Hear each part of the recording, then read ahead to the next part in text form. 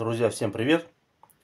Сегодня у нас на обзоре вот такая замечательная открытка или почтовая карточка, как кому удобнее называть. Данную открытку я получил из Венгрии, из города Будапешта. Ну, сама открытка, она является германской, была выпущена в Германии. На открытке изображен одноцилиндровый немецкий мотоцикл BMW R2 объемом 198 кубиков.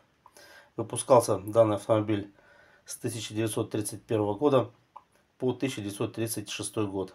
Это самый маленький из мотоциклов своей серии. Максимальная скорость данного мотоцикла составляла 95 км в час. И давайте сейчас посмотрим, какие же марки были использованы на данной открытке, чтобы потом уже поговорить непосредственно о марках.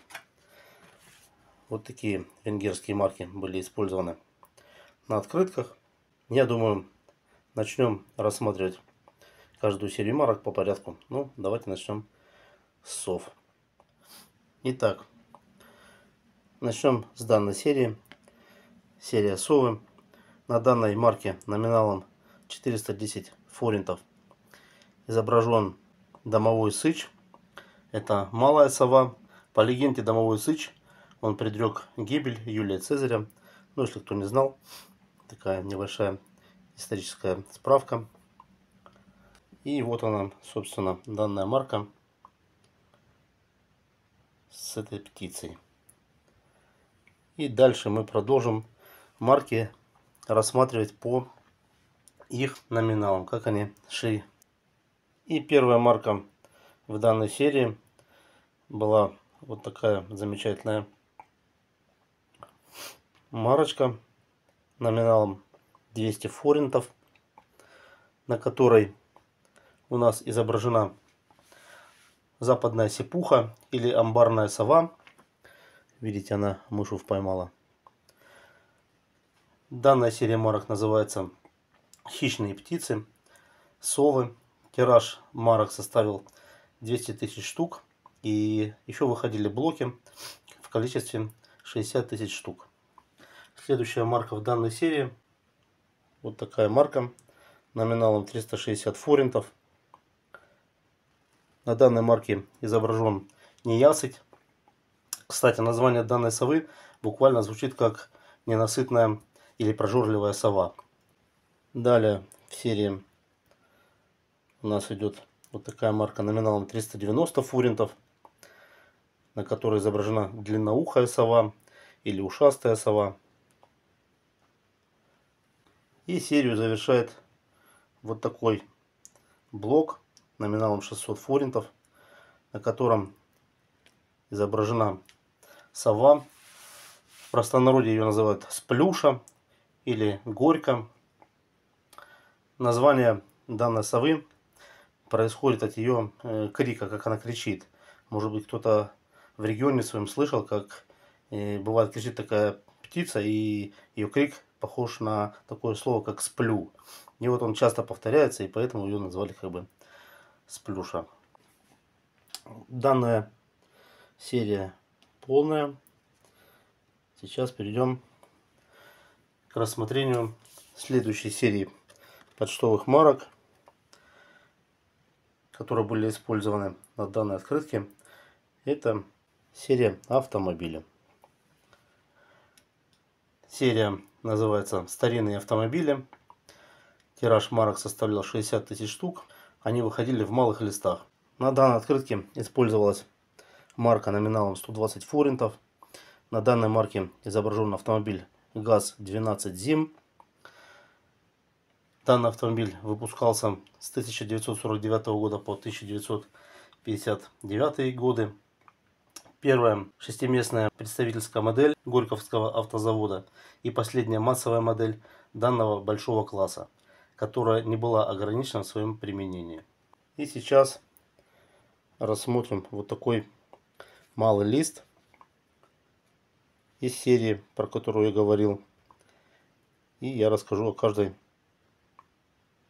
о каждом из автомобилей. Ну, начнем по порядку.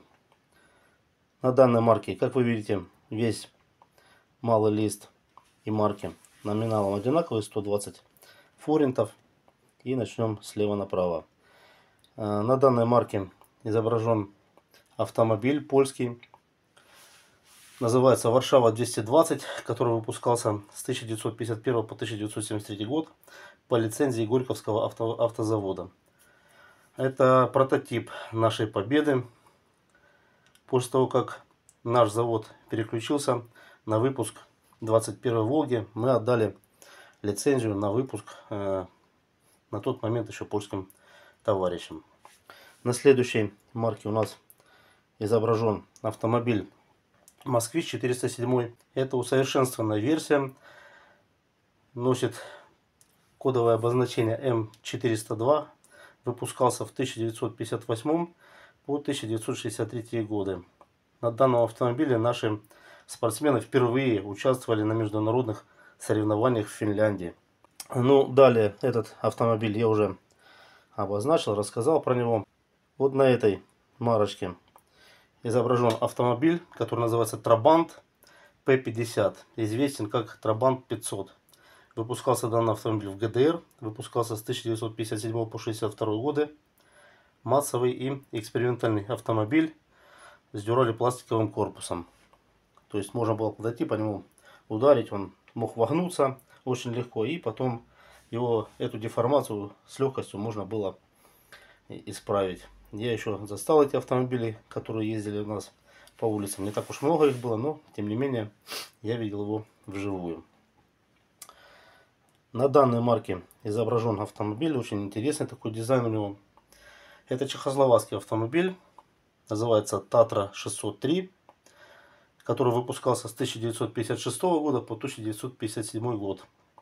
Машина предназначалась на роль служебной для высших партийных и политических руководителей государства Варшавского договора, а также еще дружественных данному договору странам.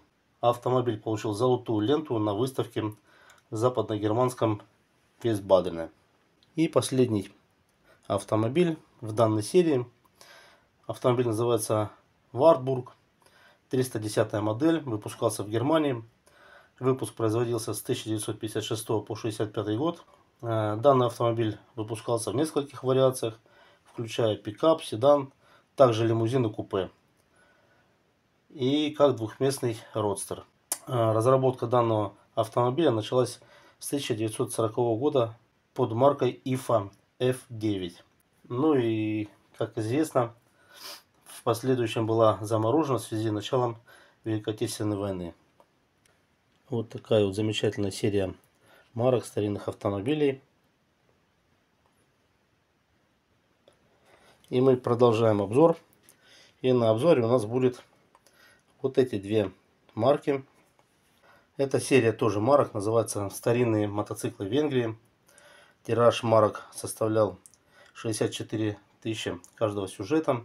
Также они выпускались в листах по 64 тысячи листов. А, выпуск был а, в 2014 году. Да, также забыл сказать, что автомобили, а, серия марок автомобилей выпускалась в 2017 году. На данной открытке использовались марки номиналом 90 форинтов, как вы видите. На данной марке изображен автомобиль образца 1964 года Pannonia TS Экспорт. Это экспортный вариант Pannonia. Также еще выпускался Pannonia TLT. А здесь на марке изображен автомобиль Чепель 250 образца 1953 года. Ну и также в этой серии были еще мотоциклы, которые я вам сейчас и покажу. Вот такой замечательный малый лист из серии «Старые мотоциклы Венгрии». Ну и начнем рассматривать каждую марку, марку по отдельности, название. Практически все из представленных на марках мотоциклов были выпущены на заводе Чепель. Чепель это венгерский производитель грузовых автомобилей, автомобильных шасси и автокомплектов. Хочу рассказать историю данного завода. Начало, начало истории этой венгерской мотокомпании, а именно Самото они и начали. Было отмечено в 1929 году со скандалом. так как они, не теряя силы на собственную разработку мотоциклов, компания практически полностью скопировала одну из моделей мотоциклов BMW. Существенное отличие от BMW было в том, что Чепель установил двухтактный двигатель, а BMW использовали на тот момент однотактный двигатель. Ну и BMW незамедлительно обратилась в суд, решение которого, как вы понимаете, было не в пользу Чепеля. Чепель, в свою очередь, прекращает свою деятельность, но в конце 1931 года начинает выпуск 98-кубового мотовелосипеда по французской лицензии. До начала Второй мировой войны они выпускают этот мотовелосипед, а во время Второй мировой войны компания занимается э, выпуском небольшой серии 125-кубовых э, мотоциклов мощностью аж 3,2 литра с двухступенчатой коробкой передач с ручным механизмом переключения, что для того времени было вполне типично. И тут смотрите, какая история получается. Вот просто из того, что как бы я понял. Если мы возьмем э, те автомобили, которые представлены у нас на марках и пройдем хронологическом порядке, то мы увидим следующее. Вот смотрите, э, на этой марке, э, ну, они все 90 форинтов номиналом, у нас мопед Чепель ВМ-98 выпускался в 1932 году.